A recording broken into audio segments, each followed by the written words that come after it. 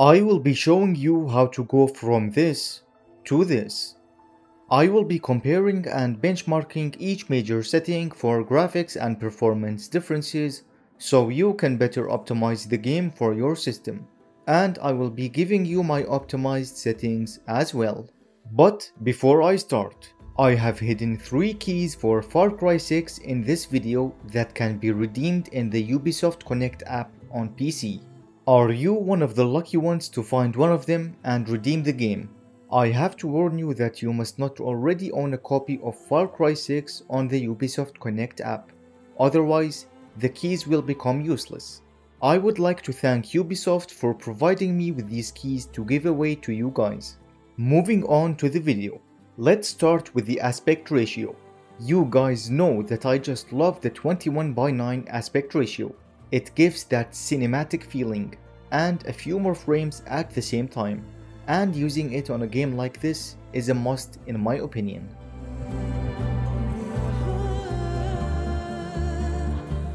Looking at the anti-aliasing, going from off to SMAA is pointless. To TAA is a lot better, while DLAA has the best and most stable image quality.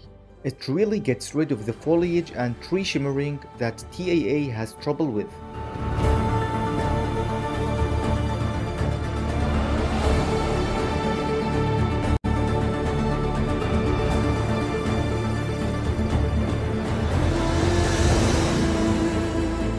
For upscaling, using DLSS, the image becomes slightly sharper and reveals some details in the textures. Using FSR 2.2, there's more noticeable shimmering, especially around Aloy's hair, as we're used to with FSR. And using XeSS just breaks a lot of the graphics and particles. It messes up with the water reflections and gives the particles very long ghosting trails. The texture quality setting is pretty straightforward.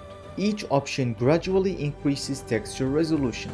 At 1440p max settings, I saw a peak VRAM usage in the 9GB, so you're able to lower a few settings to reduce the VRAM usage if you have an 8GB card.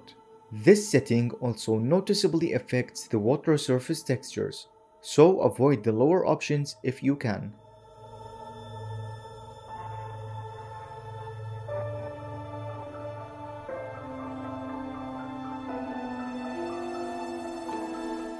Texture filtering in this game is very subtle, to the point where going from 8x to 16x anisotropic filtering didn't really improve image quality even when comparing side by side.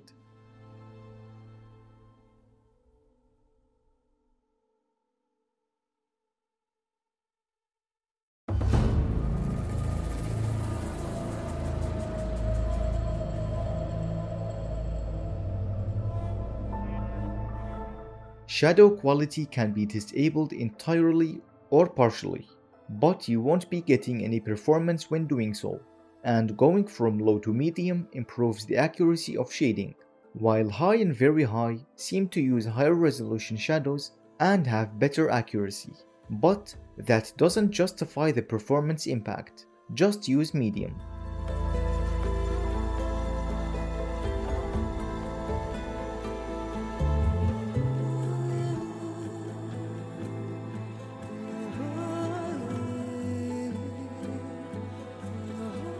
Screen space shadows have a subtle but important impact to the image, giving it that needed extra detail to make the environment much more believable.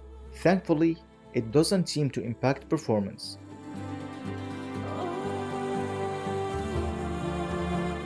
You only have one option for ambient occlusion, which is SSAO, but it looks to be a good implementation here, and barely affects performance.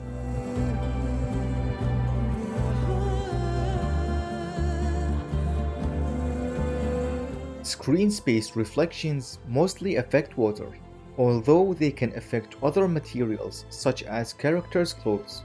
But in this scene, going from low to high increases the water reflections distance. But what you might not have known is that only the high option enables underwater reflections beneath the water surface. it barely affects performance here, so just keep it on high.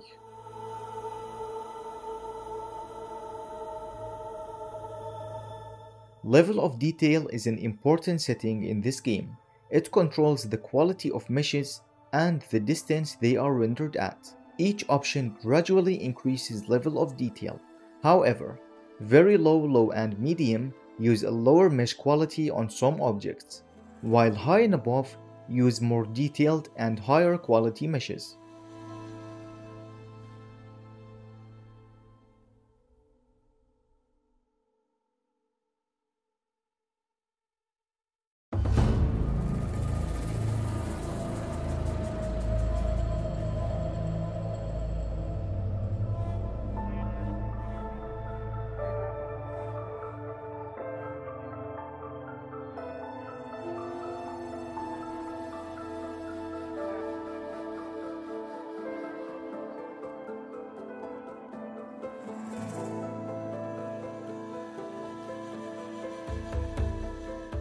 Looking at the pop-in for each option, it seems that medium starts to look acceptable and high has almost unnoticeable pop-in.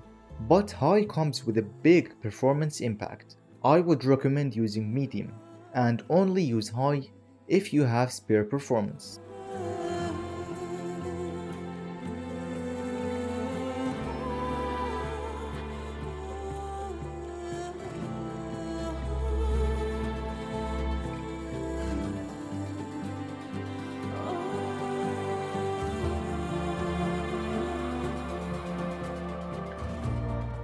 The hair quality setting seems to only affect Aloy. Each setting gradually improves the look of the hair, and all of them perform within the margin of error. The crowd quality setting controls the distance at which NPCs start to render at their max quality models. The NPCs at low and medium noticeably pop in and out of their higher quality models, while at high, I had a hard time spotting this switch. Since this game is very GPU limited, I did not find this option to affect performance at all. Just use high unless you're CPU limited, which I highly doubt.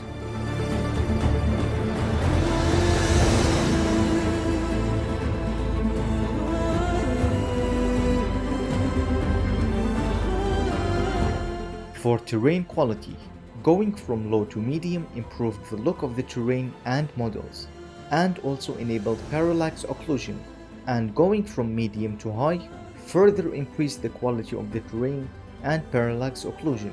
However, I couldn't spot any changes with the very high option.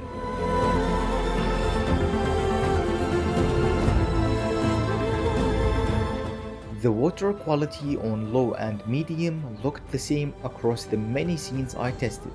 However, Using high enabled much higher quality water physics. It also enabled seafoam, which looked quite good.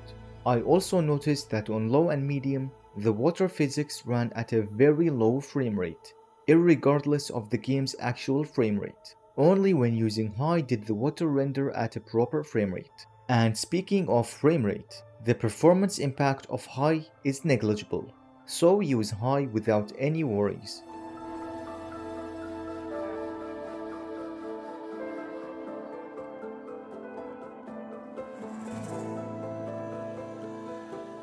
The cloud's quality setting on low and medium looked the same to my eyes, while high and very high add volumetric fog, which are different from the average clouds in the skybox. As for the quality of the clouds, I couldn't see any improvements, so high seems to be the most obvious option here.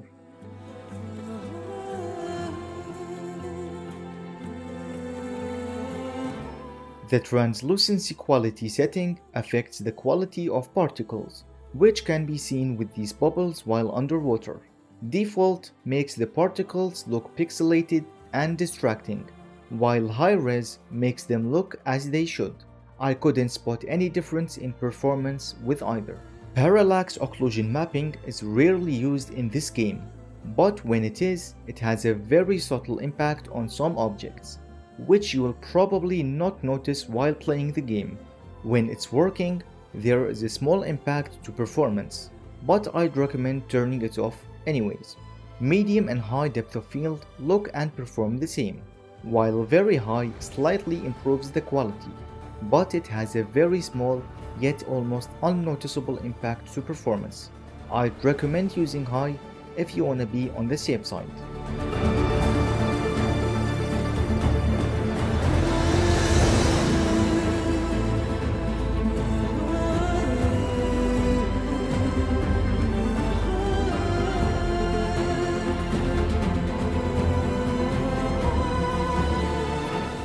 This game is much better optimized than Horizon Zero Dawn. It also doesn't have the major performance issues the first game launched with, but it's also extremely demanding at the same time.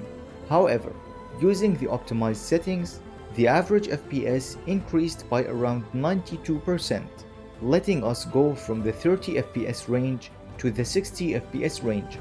The minimum FPS increased from an unplayable and stuttery 20 FPS range to the high 30 and low 40 FPS range. And if you wait until the VRAM usage stabilizes by the end of this test run, we'd see that VRAM has slightly decreased by around 500 megabytes or so.